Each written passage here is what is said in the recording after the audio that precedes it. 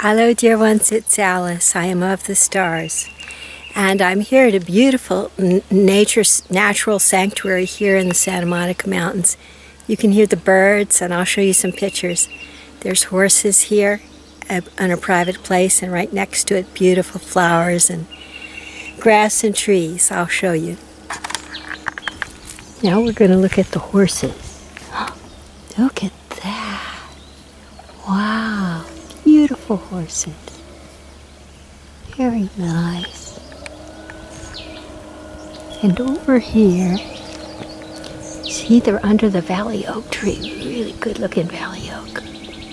Just the, the leaves are coming out because it's springtime. And over here, beautiful flowers. Very nice place, my gosh. Trees over there. So, I have a short story to tell. I was coming back down the mountain after a hike with a group that I know, and um, and I started hearing just a lot of like uh, patter, clear patter or chatter with regard to black magic. And black magic is not something that I'm a, a fan of. Not at all.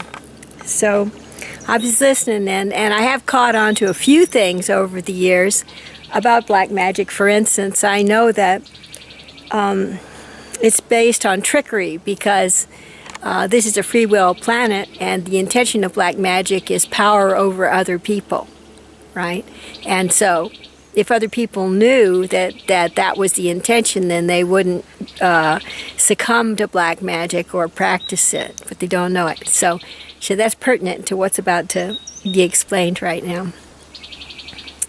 So, so I heard, I read some a little, and I heard over the years uh, that the demon realm uses um, loopholes and trickery in the laws of this planet, which are free will and the all, and uh, and comes up with ways to trick the human mind, right, into agreeing to the satanic stuff, right? So, and one of the tools that they use is um, reversal. For instance, there's a famous instance of the Catholic, or it used to be just all only Christian uh, Mass, which brought great good to the world. And the practitioners of, black magic, the uh, worshippers of the god B A A L, Baal, and of um, Satan, used to reverse the like the words, or I don't know, they used some way to to reverse. They thought the good influence of the mass, and so that's called reversal. And um, so today, and that's pertinent to today, to today too. I can't speak to you know whether it works or not, but the problem is that they think it works. You know, they think it works, and so they think they're accomplishing evil things in the world, and um, so that counts for something. Our intentions count for something, and so the result is that their their pain and suffering increases, and that is right up the realm, right up the alley of the demon realm. They want suffering and pain and humankind to increase, and they'll do all kinds of tricky things in order for that to happen. So, now, now I have told you recently, it seems to me like uh, the fall of the city dome of Los Angeles and the other city domes all around the world, all around Gaia, and also of um, that the city fiefdoms had been um, lifted and that the people, uh, the the beings that were in charge of the city fiefdoms and the various geographic fiefdoms have been asked by various light workers in conjunction with their celestial ascension teams and and with the angelic realm and with God himself to to leave earth. And so all that is finished up now and uh, our atmosphere is much more clear than it used to be in the in terms of the astral realm. I read someplace some time ago that there were oh I forget 150 uh, different kinds of beings in the astral realm. Some some good, some bad.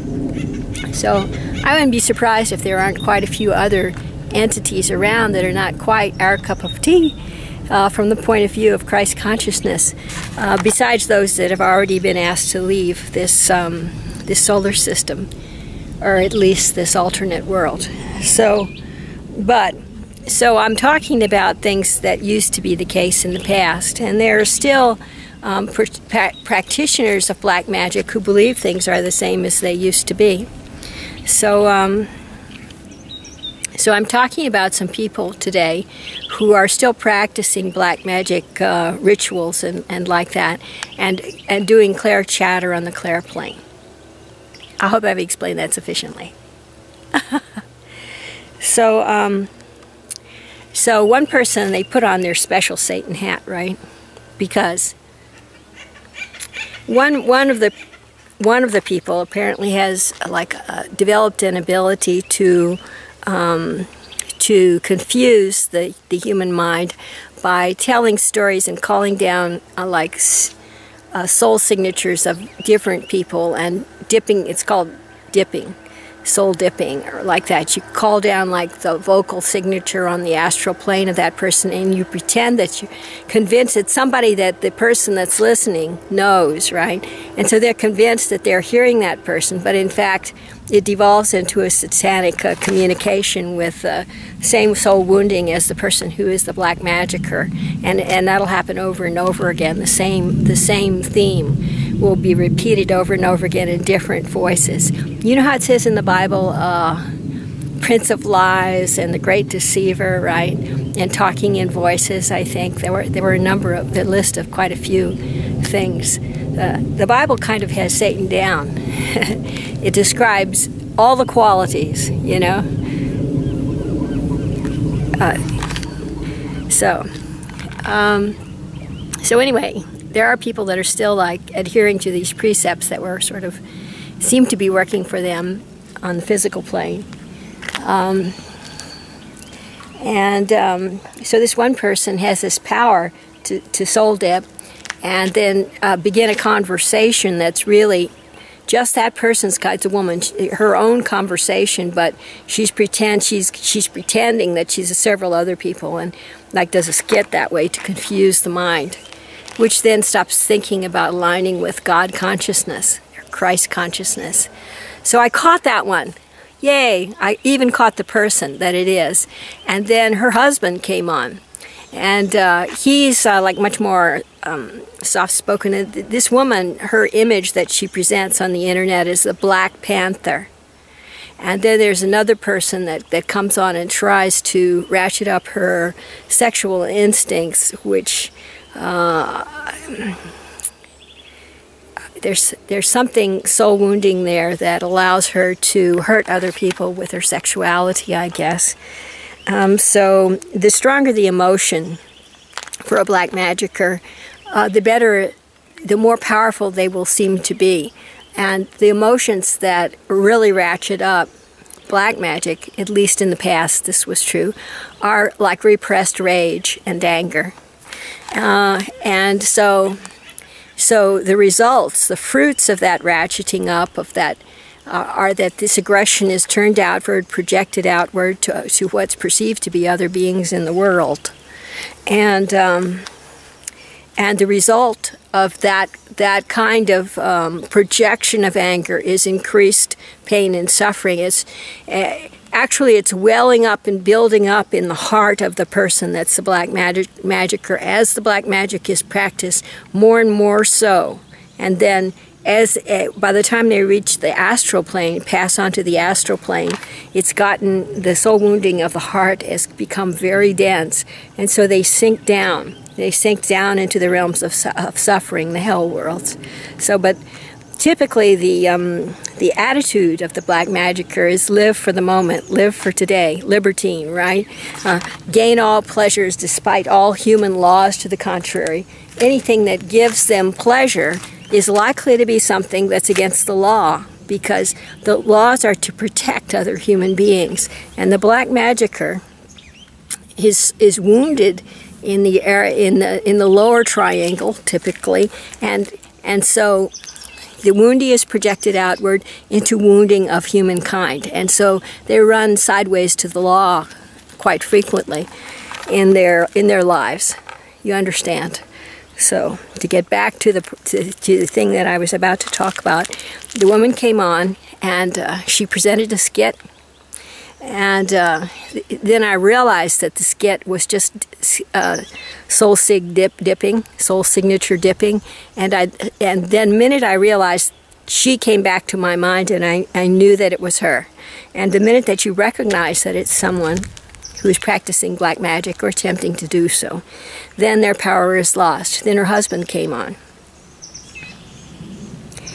And her husband put on his ceremonial hat with an image, like a clair image. And um, I, am not frightened or like concerned about this anymore because I know how how the density of Earth has diminished since 2012. It's the the um, spells are not working right anymore, you know. But um, the soul wounding is so dense amongst the black magickers in general that uh, that it will take some time to reverse it. I think I feel so. I'm waiting for the light for them. And so her and to get back to the topic, her husband came on and he put on his hat and he said, "I am Satan."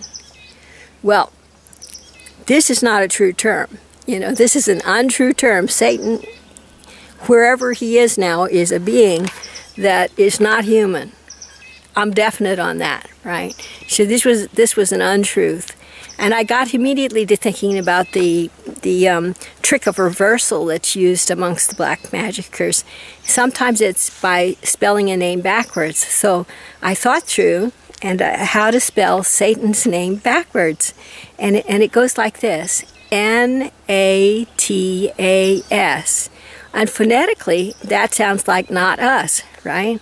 So, so what I got from that is this chant. It goes like this Satan is not us. Satan is not us. Satan is not us. We humans are a different race, you know, completely different from Satan. Satan's in it for Satan's sake, not for the human being's sake. That's for definite. So the minute I started that chant, the all that black magic crew, maybe six people, six, what they call it, went back into the background of my clair audience awareness and then just disappeared.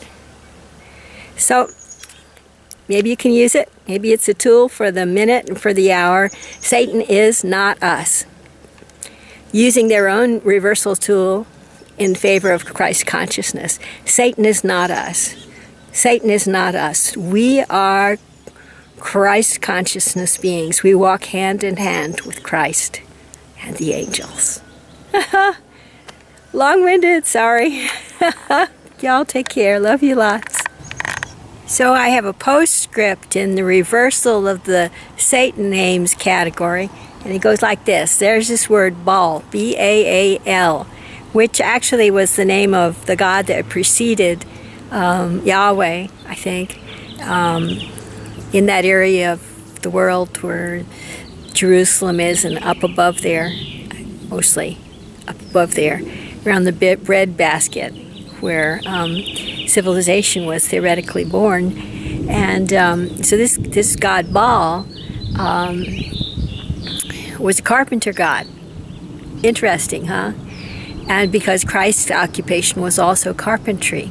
And then King David came along and pretty much um, uh, committed genocide against all the people that up, up north of him, all the tribes up there that worshipped Baal. And then after that, because they wanted to consolidate the, the state religion, um, uh, Baal got a very, very bad rap, undeservedly bad, but yeah, that remains till today to be the case with Baal. Baal is sort of in a class with, with Satan as far as denseness and darkness and, and hatred and energy of very dense energy of the heart is concerned. And so some people, just to have a change up, instead of with their black magicers, they may um, they may instead of worshiping Satan, you know, Satan is not us. They may worship Baal, the god Baal, B A A L. So I just did um, a reversal on that, and what do you know? It comes out L A A B, Lab. And uh, interestingly enough, in Hindi, this word labha means profit. And so when we say, uh, when we use the phrase, Baal is labha, what we mean is, Baal is profit. And so worshiping Baal brings one, weighs one down into the density of, of what the Ferengi said on the Star Trek, these, uh, the world of profit. the world of, of things, the substitution of things for the importance of the spirit. So we're anchored to the material world. And so that's that's the thing to say for, to worshippers of Baal. Baal is labha. They may take it the wrong way. They may take it that they're getting just what they want. But in fact, what they are getting is density, denseness in their heart chakra that pulls them down on the astral plane into the hell worlds. So there's that. Addendum postscript. So this is a second postscript here, and it has to do with the emotion of lust and ratcheting up of that emotion during the practice of black magic. And it has a little more on the astral planes negative, the, uh, the hell worlds, a few more descriptions about that. So here goes. It's the energy of the second chakra, old style, that they use as uh, fuel for for their black magic. Okay, so so instead of using the second chakra to co-create uh, new life on new earth, they're using it for for for they're using it as lust to to increase the power of the third uh, chakra negative. The third chakra has to do with willpower, and so what they want is power over others, uh, power over other people in the world. And so that's how that engine works. Uh, of course, when that engine, the third chakra, is hooked to the heart energy, in Christ consciousness, it's greatly, greatly enhanced and can be used to co create the reality of new life on new earth instead of like living hell. And that's interesting too because those lower chakras, when they're negatively aspected, turn into the hell worlds on the astral plane, the astral plane being always with us.